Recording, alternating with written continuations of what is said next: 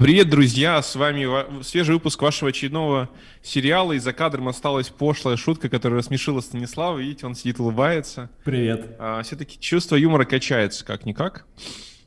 А, как дела, Станислав? Как прошла твоя неделя? Все отлично. Все супер. Блин, Что ну еще? ты по, по какой экстраверт. теме? Да, расскажи, вернее, спроси тему, я тебе скажу. Просто много всего а... произошло. Сейчас вот у нас в гостях Паша, мой первый заказчик. Можно посмотреть его. Да, серьезно? Да. Тот самый, тот самый Паша. Он сидит, смотрит. Ну-ка, зайди. Привет, он, привет. Он не слышит? Привет. Эл, привет. Пониже спустись. А, ну так, если да. Все, он, он, Привет, мы, Павел. мы пока, да, рассказываем, э, он слушает, а с ним обсуждаем интересные, у него очень интересная тема, не для эфира. Угу, ну ладно, хорошо. Стас, слушай, а как вот, скажи, есть в дизайнерском а, архитектурном дизайнерском бизнесе какие-то типа горячие месяцы, холодные? Вот сейчас чего для тебя? Вообще традиционно все хотят въехать на Новый год. А, в декабре достаточно много всего. И начинают э, всегда в, э, в марте, я думаю. И на 1 сентября еще хотят все въехать. Вот. Ну, в общем, весна Ясно. такая горячая и начало зимы, то есть тоже. Ну, вообще все время есть э, заказы, нет какой-то сезонности, если ты про это. Угу, я понял. Скорее Окей, больше хорошо. хотят зафиналить э, к какому-то сроку, вот это да. Угу. Я понял. Слушай, у меня еще есть свой вопрос. А у тебя бывает такое, что тебе приходит клиент и говорит, Станислав, слушай, вот ты можешь прям прийти на середину проекта, потому что у нас все разваливается, все плохо. Ты можешь перехватить чужой Бывает проект? такое, да, бывает. Ну, обычно мы такое не берем, потому что мы всегда говорим, можем зачеркнуть и все начать заново, потому что, угу. ну, так um, очень сложно делать. Чаще всего, если там что-то не срослось, то оно не просто так не срослось, а не срослось, потому что все не так. Угу. Ну, Ясно. поэтому да. Ну, то есть, типа, если ты придешь, то ты все старое выкинешь и сделаешь с нуля? Ну, чаще всего да, потому что начинается там с планировки все, очень редко, ну, планировка там 90% наверное успеха, да, чаще всего в ней проблемы заключаются, там надо ломать, переделывать. Ну, вот сейчас у нас э, в маленькой Италии, у нас здесь еще один э, дом, человек купил его готовый, и там уже кто-то сделал ну, стяжку, штукатурки, стены построил, все, в общем, сделал, приходится все ломать, потому что это уже никуда не годится, не подходит, там, несовременно и, в общем, странная планировка. Сейчас истратили почти mm-hmm. 200 тысяч, чтобы просто тупо вынести все, что было сделано, э, разломали и выкинуть. Ясно, я понял. Ну, у вас у богатых людей свои причуды. Ну, а как еще, если я ты понял. покупаешь, ты же не будешь экономить 200 тысяч, там, стоимость двух айфонов, да, чтобы потом всю жизнь жить э, в какой-то непонятной теме. Это правда. Слушай, знаешь, у японцев еще так, я люблю Японию, туда частенько езжу, по-японски даже немножко говорю, но ну, это сейчас я немножко выпендрился.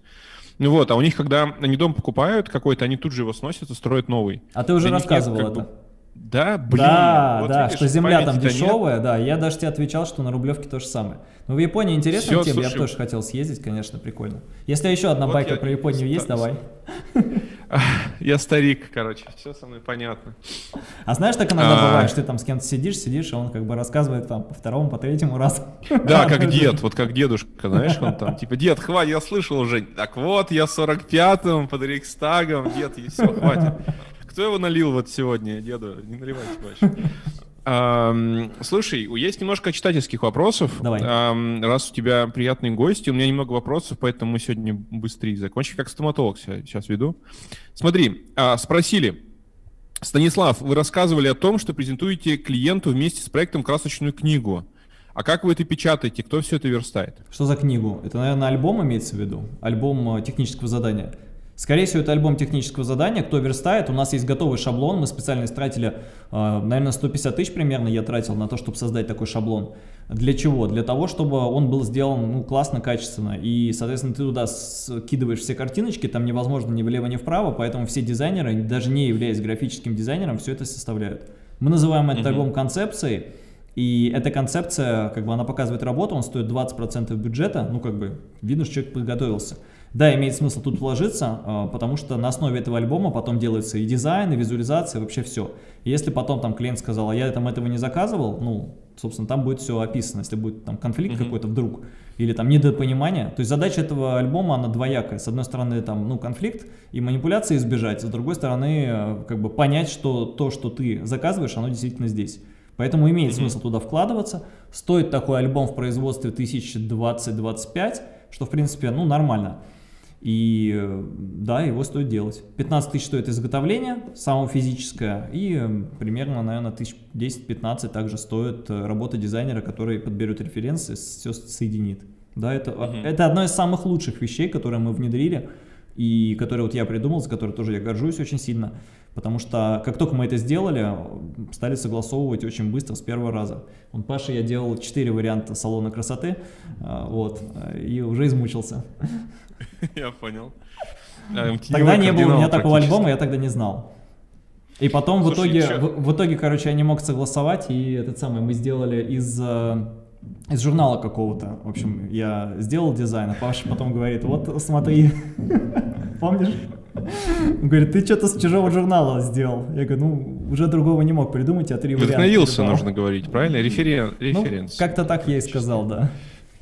Но ничего, нормально, Слушай, кстати, знаешь... он отработал и работает, наверное, до сих пор.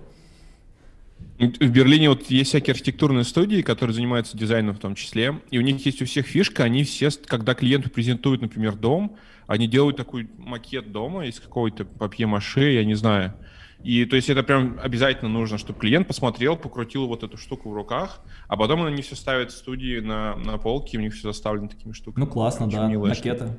Чем больше ты взаимодействуешь или клиент, тем лучше. Потому что никто не хочет платить за какие-то там виртуальные на iPad, давай покручу. Да ты с Pinterest накачал. А если у тебя макет, mm-hmm. или если у тебя там какие-нибудь виртуальные очки, ты походить можешь. То есть это все на эмоции рассчитано. Mm-hmm. Ну, нормально, это как продающая презентация, это хорошо работает. Я понял. Хорошо, спасибо. Поддерживаем. Второй вопрос. Да. Стас, а у тебя есть какие-то фишки или секреты, связанные с переговорами? Поделишься? Да, есть. Э, ну, как секреты фишки. Просто я научился один раз, понял, как это работает. Э, занимался персонально с очень хорошим специалистом. Ну, как не занимался, я ему помогал книгу писать, э, а он мне там давал советы, и пока я писал книгу, я все это понял, систематизировал и применял.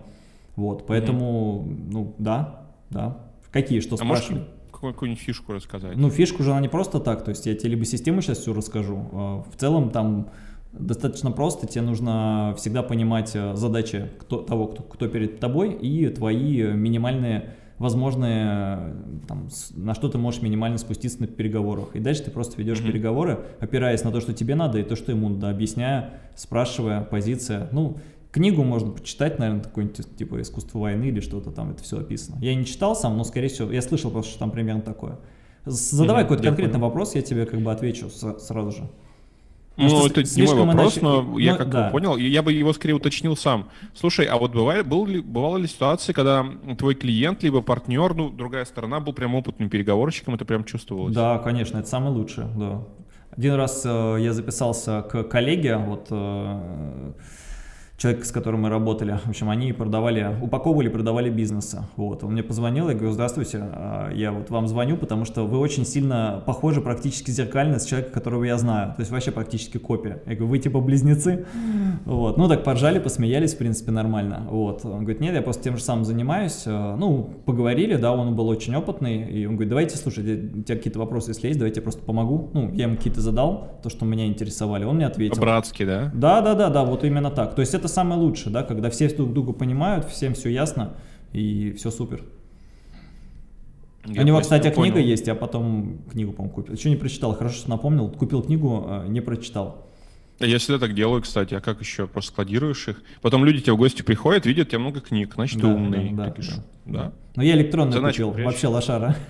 Блин, слушай, электронную, да, не торганешь, это проблема. Ну, может, я отблагодарить так хотел, потому что если он мне помог, посоветовал, да, то всегда можно угу. книгу купить. Вот, где моя книга-то уже? Где мой продукт placement? Вот, значит, э, кто хочет, кому нравятся наши передачи, можете купить книгу, и вам полезно, и автору приятно. А сколько, сколько тиражей ты уже реализовал? Два. Ну, как тиражей? У нас тираж там 2000 экземпляров, э, ну вот, в принципе, должны ну, скоро будем следующий выпускать. Сейчас он заканчивается. Слушай, два тиража твоих книг продать, это можно квартиру Чайповца купить. Можно. Так что. А можно не покупать, это будет самым правильным решением. Это правда, да. Как человек, у которого есть квартира Чайповца, я считаю, так, А ты что, почему не продал? А слушай, не знаю, она там мама ей сдает, ну, то есть получает какие-то деньги с этого. Пассивный Я, на самом деле, бы еще одну купил маме бы, чтобы на пенсии она там... Короче, была бы... а, у нее был бизнес по аренде квартир. Ты бы лучше книгу написал, и на книге бы она больше заработала, чем на Началось, квартире. вот опять этот инфо-цыган, прямо с, с кибермедведем практически. Да. Ам, да, я не дам тебя, себя хмурить, я уже человек привитый, можно сказать, как спутником я бахнулся, поэтому я, на твои действия я не действую. Да-да. Ам, Мама вопрос. будет в минимальной, да, комплектации, так бы мог порадовать. Ну, мгм, понятно. Ай, слушай, хватит капать на совесть. Станислав, а вам предлагают менторство за долю в компании. Вы бы согласились на такое? Да нет, какая-то фигня, по-моему. Зачем это надо? Ну, то есть, э, Ну, а доля в компании, которая не работает, ну, наверное, ну, то есть, смысл какой, не очень понятно. Вообще неясная М. тема.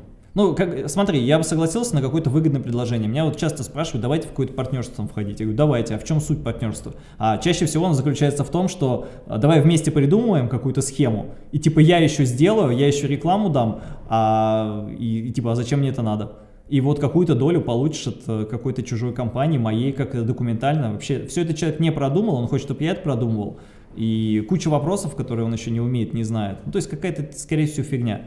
То есть я бы никогда в жизни сам не пригласил кого-то там в свою компанию там как ментором за долю, я бы скорее купил консультацию. Если ты как бы уверен в себе и в своей компании, тебе выгоднее просто тупо заплатить человеку за консультацию. 15, 20, Мгм. там 100, 150 тысяч, ну сколько надо заплатил, либо пригласил его там как, э, ну работать там как коучинг, например. Тебе это выгоднее будет. Зачем тебе долю отдавать? Заплати ему 500 тысяч и все, а потом сам Мгм. миллионы заработаешь, зачем тебе делиться? Непонятная схема. Возьми в банке, Мгм. в банке дешевле, ну как бы кредит взять. Хорошо, я у тебя возьму, если мне потребуется. Что? На очередную камеру. Должу у тебя денег в очередной раз. Если мне потребуется на очередную камеру. Я тебе с удовольствием дам, и ты заработать можешь, мне кажется. Мне кажется, ты Прекрасно. создаешь впечатление человека, который в состоянии заработать. О, это прям вот, э, слушай, это самый крутой комплимент за последние 15 лет примерно. Ну вот. До этого мне сказали, что я умный. Вот это, мне Умная кажется, фигня, да. Главное, да, деньги можешь принимать. Если Да, соберешься. как банкомат. Да. Так, еще такой вопрос. Скажите, Станислав, какой максимум развития студии дизайна интерьера? 100 дизайнеров в штате, офисы по всему миру, комплекс работ от коврика до высотного строительства. Каков потолок или емкость нашей ниши? Ну, безгранично, в принципе. Почему Я- наши- слушай, нет, Если давай, ты давай за- нормально отвечать. Ну правда, ну ты расслабился. Что ж безграничный? Ну, Ну, значит, э, ну подожди, а что, чем, чем тебе ненормальный ответ? Ты можешь, э, тебе Ну- никто не мешает по всей, э, даже не, в- не стране, а по всему миру продавать дизайн. Почему нет? Кто тебе мешает? ну, ну, блин, слушай, это такой абстрактный ответ, ну правда. Ты знаешь, как... э, насколько Какой вопрос, я какой ответ? Ну, подожди, а что ты хочешь сказать? Нет, ну хорошо, давай так отвечу, что вот вам э, в вашем городе только вот, только вот э, 20 клиентов больше нельзя брать. Ну что, я, я не понимаю. Ты, давай так, а, Ну, ш- ну, что да, ограничивает? вопрос странный, не что, мой. Что ограничивает, я не понимаю. Схему, по которой ты М. можешь работать в любом городе, в любой стране, я вижу. Ты просто даешь рекламу, ты показываешь продукт, если его покупают, то ты делаешь там, дизайн. И в чем, в чем проблема? Я я не вижу там ноль проблем. Ты знаешь такой типа вопрос, а вот э, э, скажите, а, а сколько вот мне, я не знаю, там блюд или там сколько мне э, количество там вина можно попробовать? Ну сколько хочешь, сколько только попробуй. Сколько у тебя будет бутылок, столько и попробуешь разных. Ну, М, чем, ну, ограни- ну, чем ограничено Согласен. мой дегустационный этот самый портфель? Да, да ничем не ограничен. Ой, слушай, вот это, кстати, вот э, очень опасный, когда в мишленовский ресторан пойдешь, берешь винный пейринг, а там, допустим, 11 блюд, 11 сет из 11 смен, и каждому льют винище. Ну да. Вот. А к некоторым блюдам, например, там в Тим Рауэ оно разделяется на три, и каждому по бокалу ставят на стол, и в итоге ты к половине ужина, ты уже наклюкался. Ну это же самый Вот, кайф. вообще Наклюкался в не может мишленовском ресторане. Да, да, и ты такой, блин, ребята, можно поменьше лить, я уже правда не могу. Они такие, нет, это нужно, вот водочки вам еще можжевеловой. Да. Такой, ё, нет. Не, нормально. А, ну, это если как если контекст, я заплатил, понимаю, сколько там, евро, 200, там сколько, 300 ты платишь, то будь до конца. Сколько стоит? Это правда, Да. собраться нужно, да, и пить, я На согласен. все. Как в последний раз. Стас, слушай, а вот, например, расскажи немножко про свою студию. Почему ты, например, не выходишь там на европейский рынок? У тебя есть проекты в Америке даже, я помню, Есть, был, а вот, почему да. это не, не масштабируется? Да, это масштабируется, просто я туда фокус внимания не направляю. У меня нет э, там, задачи именно студию развивать, мне комфортно. У меня студия нужна для проверки гипотез и для того, чтобы это все работало. То есть у меня там небольшой штат компания, и мы вот как бы этим занимаемся, тем, чем нам интересно, интересными проектами. У меня больше фокус на другом. У меня исследования, mm. написание книг, создание, документация. И я больше хочу сейчас, вот чем я заинтересован, это создание системы по созданию компаний. То есть я, у, меня, mm-hmm. у меня есть система по созданию системных компаний чужими руками. То есть мне вот это больше интересно делать.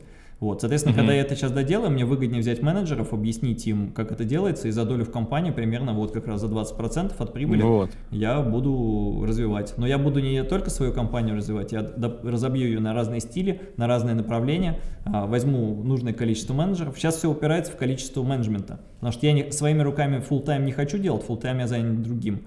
А чужими руками не могу до конца, потому что нужна система, как это делать. То есть сейчас, когда я систему досоздаю, она работает. То есть она у меня работает, я ее тестировал. Вот. Я, mm-hmm. в общем, очень как бы фундамент строю детальный, а потом, ну, как бы стартую. И еще у меня я концепция понял. такая, что не надо одну какую-то тему растить, там, супер. Мне выгоднее, знаешь, там много-много-много разных, и, ну, как бы, получается лучше, там, 100 компаний по 100 тысяч, чем одну, там, многомиллионную. Угу.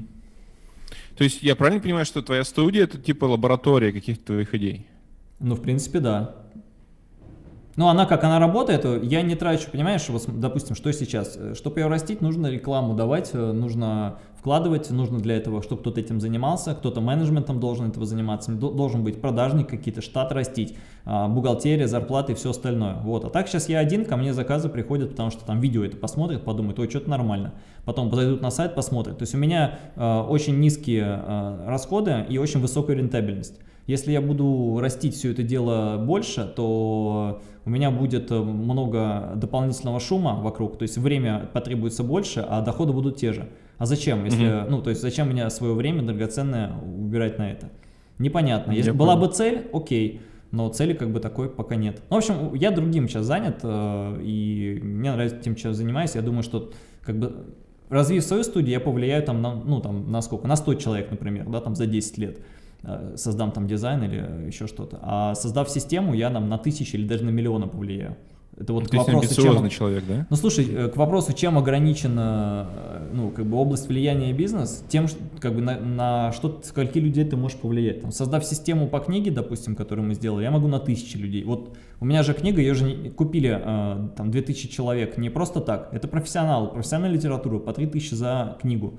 То есть по-любому уже влияние минимум, даже если кто-то не прочитал, минимум тысяча э, человек по ней как-то будут работать. Потом еще кому-то передадут. Это уже очень круто. Есть, Слушай, а чего так... тебе это влияние? Оно греет тебя или как? Ты же это, или это просто доставляет тебе удовольствие? Ну да, мне нравится. То есть кому-то нравится смотреть, как вот э, он ресторан создал, а мне нравится, как я создал систему, и она влияет на там, сотни людей, э, что они тоже создают свои студии. То есть это как бы это приятно. Ну и второе, mm-hmm. то, что это в целом деньги приносит, э, помимо того, что я распространяю свою как бы концепцию, те люди, которые читают, понимают, что я как бы соображаю и приходят ко мне по разным вопросам на обучение, на проекты, заказывают, ну, то есть, то есть это как бы такая как бы и реклама, и удовольствие. Угу. Это вместо я прямой понял. рекламы. Вот, это как бы вопрос, э, я вкладываю больше в систему, нежели в Google и Facebook на рекламу. Я понял. Слушай, а отдай мне долю в нашем совместном видео, продай как бы, наш, я должен 20%, мне кажется, должен иметь с доходов, которые ну, ты получишь от этого видео. Да, а как ты доходы отследишь? Давай, если Ну, мы попросим, если вы, вы пришли с этого видео и стали клиентом Станислава, то скажете какое-нибудь волшебное слово, и тогда Сергей красавчик скажете, и тогда Слушай, ну 20% да, от... смотри, над этим, мне? Э, над этим можно подумать, но нужно какой-то конкретный план, предложение, э, систему отслеживания, ну, как бы вот этого всего. Потому что также я могу тебе сказать тоже, Сергей, если кто-то видео посмотрит и увидит, что там ты редактурой занимаешься. Да я готов, пожалуйста. Вот, да. Тебе мои есть, копейки. Э, нужно какое-то как бы не предложение, а систему создать. Если ты создашь, мы ее рассмотрим и договоримся. Я думаю, я только за. Давай. Договорились, слушай, прекрасно. Я, и мы его даже друзья, в прямом эфире, я как бы плюс и минус вот. могу рассказать, да, давай. Если вот. ты напишешь, Почему нет? Да, давай. А мы, кстати, можем в следующем видосе разобрать. Вот будет маленький Да, бизнес да, Станислава да, Орехова. да. Можем в прямом эфире создать, потому что есть ряд вопросов, да, которые позволяют, э, ну, как бы тебе эту тему расширять, и я только за, потому что кто чем Сейчас я, занимается. я маме позвоню, говорю, мама, слушай, мама, у меня бизнес, мама, Да. состо- я с москвичом открыл бизнес. Единственный момент, только квартиру надо твою это самое продать, чтобы в рекламу вложить. Да, мама, продавай квартиру, вкладываем в бизнес со Станиславом. Да-да-да. Все, спасибо. Короче, на карточку скоро скинет, вот, и начнем. Не, давай, интересная идея, я за любую движуху, почему нет? Прекрасно, прекрасно. Блин, хорошо. Слушай, а вот у меня на самом деле вопросы от читателей кончились, у меня еще парочка своих Давай. есть. Я тут, у меня есть знакомый предприниматель в Москве, он А Ты видишь, занимается мы этим сегодня вдвоем в беленьком. Чего? Вдвоем в Да, беленьком. да. Это ты на меня повлиял. Я, Сошлось. кстати, купил себе кучу белых рубашек, теперь Всё. ношу. Это, кстати, повышает чек, серьезно. Люди видят, что ты, ты не абсос какой-то, ты нормальный человек. Вот, и поэтому платят. Вот, слушай, мой вопрос. У меня есть приятель в Санкт-Петербурге, у него IT-бизнес, ну такой средний, 100 Ага. человек. Занимается там разработкой. Вот, и мы с ним поговорили, он пытается расширяться. Вот, и мы с ним поговорили, и он говорит, я хочу до 200 человек довести размер бизнеса. Зачем? Я говорю, да классно тебе, там у тебя и доход два раза вырастут. Он говорит, хрен тебе, доходы вырастут на треть, на самом деле. Мгм. Если компания будет там в 400 человек, то в два раза вырастут относительно 100. Ну, то есть, типа, нелинейно растут доходы, когда у тебя количество людей больше. Вот у тебя Мгм. так же? Нет. Это зависит от организационной структуры. Когда у тебя узкое горлышко как бы в одном месте, э, то да, ты чем больше, тем больше. Э, В моей структуре, как я, допустим, делаю, у меня я могу безгранично брать, потому что у меня э, суть работы компании или команды это не то, что вот все в одно место идут, а у- Мгм. у меня дизайнер плюс ведущий специалист ведущий дизайнер плюс менеджер. И вот это вот два Мгм. человека, я их могу хоть тысячи взять. Почему? Потому что связующее звено — это система, по которой они работают. Единственное, что мне нужно будет сделать, это обеспечить их количеством заказов. А это другая система, Мгм. которая также обеспечивается. То есть это зависит от структуры. Есть структура как бы горизонтальная, есть э, там вертикальная. Я не знаю, как у него сделано. Если у него так, Мгм. что он типа 100 взял и э, короче, где-то у него там затык, потому что должно расти ну, примерно сколько человек, столько. Ну, вот, вот смотри, у меня дизайнер есть. Дизайнер, которому я заказ отдаю, он э, 50% себе забирает условно, 50% компания оставляется. То есть, если два дизайнера, то, соответственно, получается в два раза больше. Если 10, то Мгм. еще. И узкое горлышко там, где он не может, э, где у него деньги теряются. Скорее всего, у него теряется на офисе, э, на какой-нибудь там бухгалтерии, на налогах, еще на чем-то, на зарплате. Как это минимизировать? На постоянных расходах, я имею в виду. Минимизировать очень Мгм. просто. Там офис ты онлайн выводишь, второе, менеджеров убираешь, у тебя система остается, в которой они сами знают, что делать. И зарплатный фонд, допустим, ты предлагаешь э, ИП, э, ну, им организовать, либо самозанятых. То есть надо по-другому Мгм. просто организовать, и тогда будет нормально. Потом ты встроишь финансовую модель, и у тебя сходится. Это все делается не перестройка компании, которая у него работает, я бы ее не трогал. Я бы ее либо продал вообще полностью, если она работает, и новую бы заново построил. В принципе, продать все компании Мгм. всегда выгоднее. Переупаковать бизнес и продать это всегда классно. Вот. ам, либо... Слушай, а п- погоди секунду, а вот сколько стоит студия Станислава Орехова? Сколько ты ее продал? Миллионов 10, я думаю. 10 всего? Да. ладно. Да. Да я могу купить студию Станислава Ну, Орехова. давай, Продам покупай. квартиру в Щиповце, Конечно. ипотеку еще возьму. И... Да, но это, а почему так э, э, мало? э, но это не мало, это, это будет клон, потому что ты же не можешь взять мое имя. Я тебе систему отгружу и научу тебя в ней работать, в такой же. Вот, поэтому, ну, примерно Это так. входит в 10 миллионов рублей или нет? Да. То есть, типа, что я, вот я, я, например, такой согласен, вот тебе 10 миллионов, что, Мгм. что я получу за Ну них? смотри, у меня такого предложения нет, я тебе примерно сказал э, ту сумму, Да-да-да. в которую можно начать разговор. У меня есть предложение там, ну смотри, у меня есть предложения какие. Э, За 300 тысяч э, мы делаем вместе с тобой студию, то есть ты свое адаптируешь, я тебе помогаю. За миллион двести эти документы организационные помогаю внедрить, как бы ну, внутреннюю организацию от отдела производства сделать. Мгм. За 3 миллиона примерно еще э, там, помогаю настроить э, продажи, привлечение. Мгм. Вот за 10, соответственно, я, мы уже можем говорить о том, что о каком-то более плотном партнерстве, если ты, допустим, инвестор, и у тебя нет э, людей, кто будет делать. Мы говорим, наши дизайнеры помогут, то есть ты заказы приводи, а, наши дизайнеры помогут тебе ну, все это организовать. Плюс мы тебе дадим портфолио, ну, наше портфолио в качестве ну, не то, что это вы делали, а в том, что ты можешь презентовать это. К примеру, если ты... А это этично вообще? А как да, этично. Сейчас портфолио? объясню как. Смотри, как это работает, что, допустим, ты, э, у тебя есть знакомые какие-нибудь там арабские шейхи, вот, и ты Мгм. хочешь им предложить, они тебе говорят, давай замутим какую-нибудь дизайн-студию, а ты как бы куда деться, ты вообще ничего не понимаешь. Ты приходишь ко мне, Мгм. говоришь, мне нужно там портфолио, материалы, еще что-то, я буду там тебя продвигать, буду говорить, что это моя студия, например, да, и на меня работают, то есть мне же не сложно, я скажу, что пусть он в э- этих буклетах с моими работами идет к шейхам и говорит, что вам будут делать вот эти ребята, ну то есть мои, я их найму. То есть получается мы будем Мгм. наемными а, этими самыми дизайнерами в, его компании. Вот примерно так. И Мгм. он не называет единственное, что это студия Станислава Орехова, он называет это там, не знаю, там Иванов и партнеры. Пожалуйста. Мгм, мгм. Это нормальная схема, абсолютно ну, рабочая. И так делают, когда крупные IT-компании продают, там м, а, э, дают э, на собственникам деньги, да, но этапами. Он должен там, допустим, за год или Да, за да, два, да. работая там внутри, а, довести до каких-то показателей. Мгм. Вот. а, И это не эксклюзив. Если эксклюзив, то это там, наверное, больше какие-то суммы имеет смысл. Там, может быть, не знаю, 50 миллионов. Я не считал, честно говоря, пока это не планировал. Потому что мне выгодней, э, даже 50 это мало, потому что зачем? Я могу 5 таких студий сделать, пяти разным людям, которые хотят пяти разным шейхам в разных странах продавать. То есть это уже более интересно. И к вопросу, типа, чем рынок ограничен? Да ничем, потому что ты можешь продавать не только дизайн, ты можешь переупаковывать это в создание студий и продавать это уже дальше. То есть это как бы уметь просто надо делать и заниматься. Разложил, разложил, слушай, прям Конечно. приятно. На 50 миллионов рублей можно еще один или два этажа в твоем доме строить? Ну, в этом, наверное, нет уже. Можно новый построить. Ну Можно да, землю купить. строишь Да, там сосед. 20, Как, как с компанией. 30 миллионов там земля стоит, можно вот покупать. Я Рекомендую. понял. Слушай, интересная штука на самом деле с портфолио, что ты показываешь портфолио, говоришь, что наймешь этих ребят. Мне Да, кажется, прям в? IT так тоже, наверное, делают. Я слышал похожие модели. Отличная тема, да. И ты никого не обманываешь, говоришь, вот я с партнерами. И самое главное, мы-то это сделаем. То есть одно дело, ты просто украл с интернета, я видел очень часто мои картинки где-то там в интернете.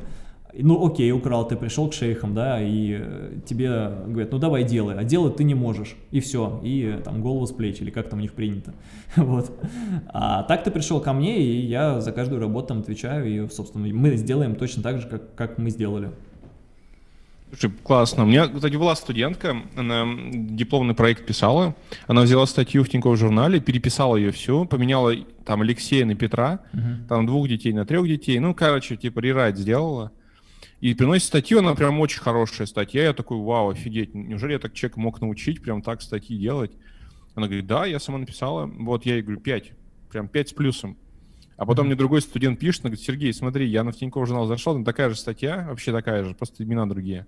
Ну, то есть, да. типа, ну вот, ну, окей, получил на пятерку, а дальше что? А на тему другую взяла или нет? Не-не, та же тема, там, как, ам, сколько стоит нанять няню там для двух Если бы она другую тему взяла, то пятерка была бы заслужена, потому что перенос какой-то темы с одной на другую это очень классно. То есть ты даже можешь рекламу подсматривать. У нас тут фитнес-клуб, допустим, висит, говорит, э, там я каждый месяц, у них новая реклама, я каждый месяц проезжаю там на автомобиле и смотрю, вдохновляюсь, И креативы. д- д- ты должен купить абонемент и не ходить, знаешь, как А полагается. я уже покупал и не ходил, да. И чем, знаешь, что забавная Мы- штука, мы они купили- продают больше абонементов, чем у них емкость зала. Ну, потому что не понимают, что половина людей просто не будет ходить. Не, я ходил на самом деле, потом просто в Таиланд уехали. Мне нравилось, тут прям классная тема. Я понял. Да.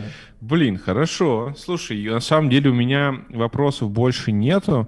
А последний вопрос от себя задам. Давай. И на этом закончим. Оставлю тебя наедине с твоим первым заказчиком. А, слушай, смотри, вот такая ситуация. Мы частично ее уже затрагивали в наших разговорах. Вот есть клиент. А, клиент просит, допустим, сайт переписать. Ты пишешь сайт, а он просит, прям показывает на твой текст, говорит, давай заменим. Вот здесь вот твой текст напишем «молодая, динамично развивающаяся компания». Мгм. Вот здесь напишем «мы оказываем полный спектр услуг». А вот здесь напишем «мы ценим ваше время, чтобы вы быстрее до нас дозвонились, введите телефон, через 15 минут перезвоним вам». Так. Ну, то есть прям ухудшают текст заметно, так делают прям как в 2000-х делали, вот прям такой плохой продающий текст хотят. Мгм. Вот, как бы ты лично в такой ситуации разруливал, как бы ты доказывал клиенту, что ему это не нужно на самом деле? Ну, а откуда ты знаешь, что ему это не нужно?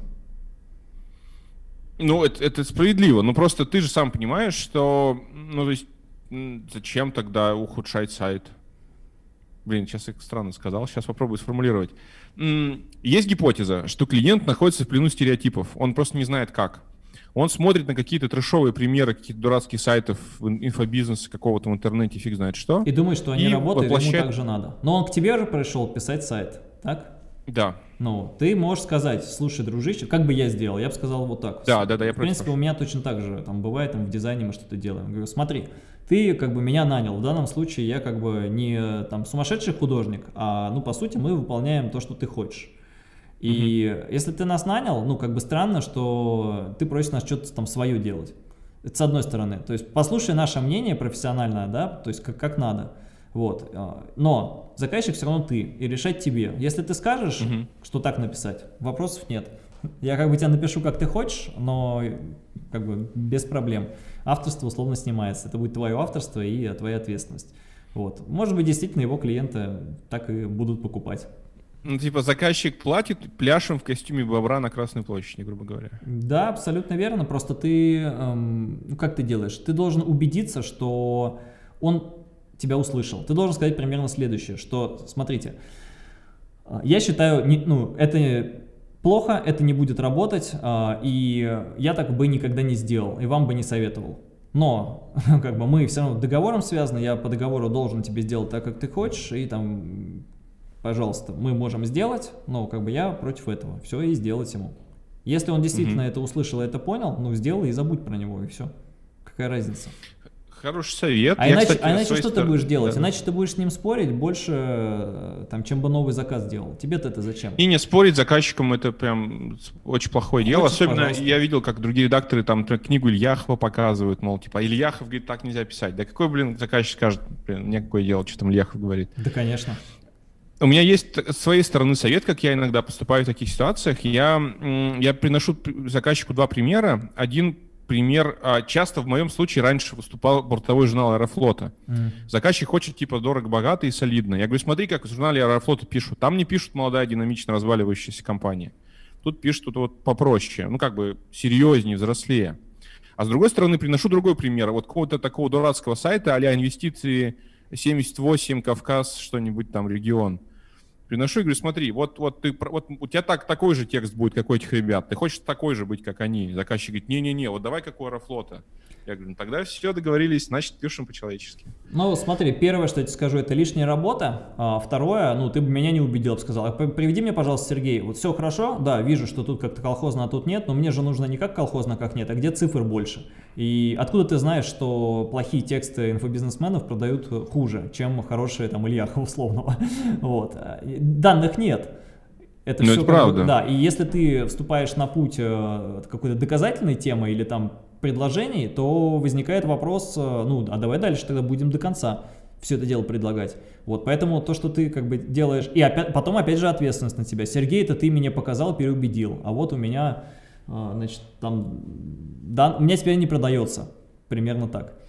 Не, слушай, здесь вопрос не в этом, а просто в ощущении текста. Ну это как, не знаю, как если бы человек хотел, например, только денег бы заработать побольше, он бы, наверное, наркотиками бы торговал. Я бы если тебе бы он хотел я понял, да, я, я бы тебе рекомендовал... одеваться, он бы дурацкий свитер носил. Смотри, э, в этом случае я бы тебе рекомендовал тоже альбом делать такой большой, то есть и там бы был такой вопрос, типа, каким тоном вы хотите общаться заранее, чтобы не писать вообще не то. И это можно отсечь э, всех не тех заказчиков э, в самом начале, то есть какого стиля вы хотите. Э, то есть, условно, mm-hmm. вот так делать, так нет. Ты можешь один раз сделать, как Аэрофлот я там делаю, а как там пром-компании не делаю. И все, у тебя как бы на этапе они фильтрации еще отсеются.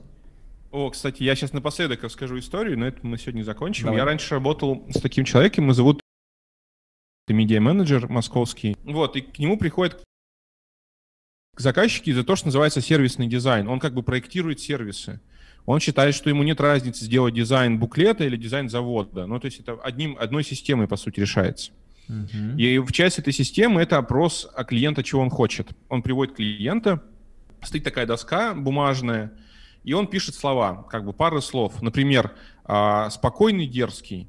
Потом он пишет современный, классический. Потом он пишет, к примеру, смешной, серьезный.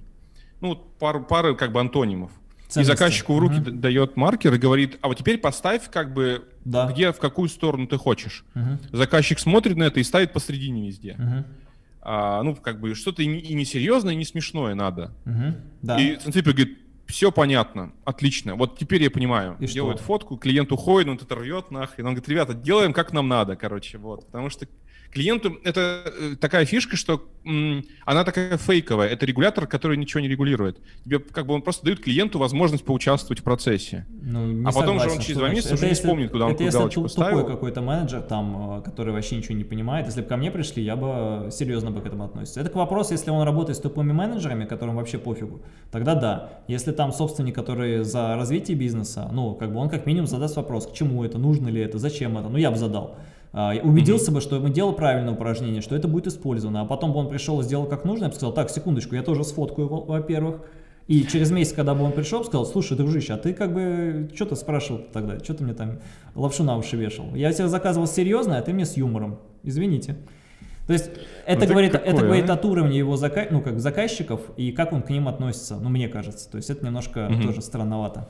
Слушай, вот эта тема А. очень интересная, она есть, э, я сейчас эту методику просто делаю тоже, она называется, с, э, когда ты по ценностям делаешь. Есть круг такой ценностей, там Шварца и Рокича, вот они использовали эту историю, и вот то, что ты сейчас говорил, это типа вот в какую сторону вот эти вот все таблички, но а, почему это важно использовать? Потому что м, ты это используешь как раз-таки, я как раз наоборот за это использование и считаю, что это важно, особенно в личном бренде. В компании они стремятся все охватить. То есть, как бы, с, наверное, с этой точки зрения а, компания, она, там много разных продуктов, и каждый продукт, какой-то может быть эко-продукт, какой-то может быть там более рискованный, да, какой-то более консервативный, да, там как в банке разные вот эти вот пакеты. В этом случае, да, если у тебя большая суперкорпорация. Но если ты личный бренд, у тебя по-любому есть э, либо там ты смешной, да, либо ты консервативный, либо ты умный, либо ты там а, общительный, да, какие-то такие вещи разные.